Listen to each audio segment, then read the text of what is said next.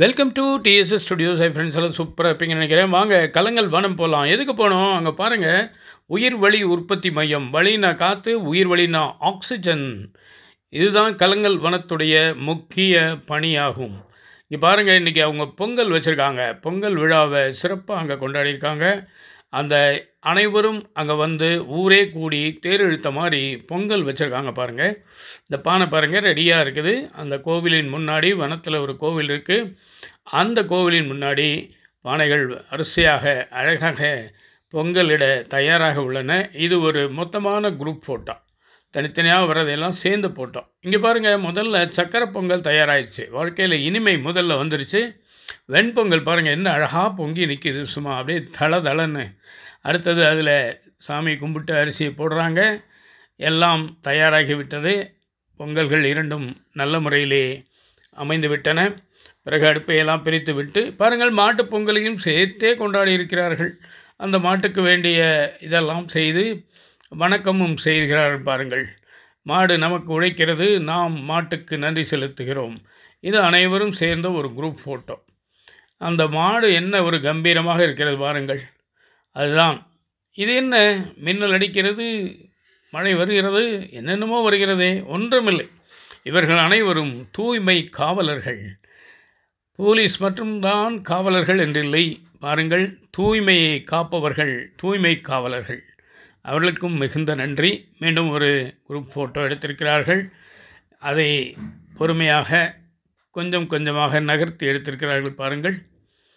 நான் நேரில் வர சந்தர்ப்பம் வாய்க்காததால் நண்பர் தினேஷ் அவர்கள் இந்த புகைப்படம் வீடியோக்களை கொடுத்து உதவினார்.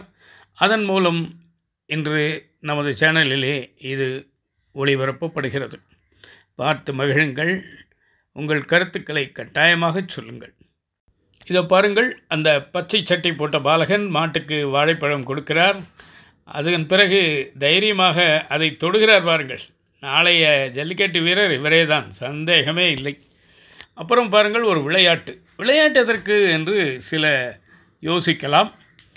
அதுபோல் விளையாடுவதை பார்ப்பதும் சரி விளையாடுவதும் சரி மனதுக்கு ஒரு மகிழ்ச்சியான விஷயம். இந்த விளையாட்டின் பெயர் லக்கி கார்னர்.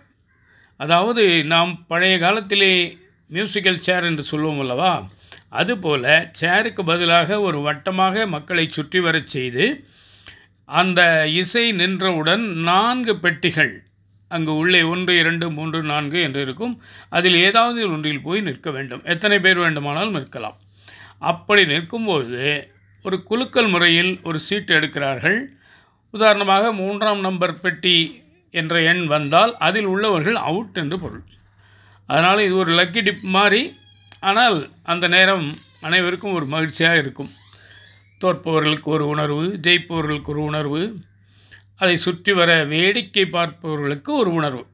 ஏனென்றால் அந்த மகிழ்ச்சி அனைவரையும் தொத்திக்கொள்ளும். பாருங்கள் நான் நேரில் வராமலேயே இந்த வீடியோவை பார்த்து எனக்கு அவ்வளோ சந்தோஷமாக இருக்கிறது.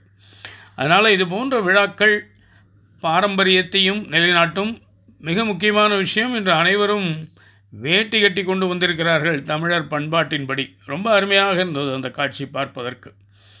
அதற்கு முன்பு ஒன்று இரண்டு தான் இருக்கும். இன்று அநேகமாக நூற்றுக்கு நூறு வேட்டியில் வந்திருக்கிறார்கள். அருமையான இந்த பொங்கல் நிகழ்ச்சியின் நிறைவு பகுதிக்கு வந்துள்ளோம்.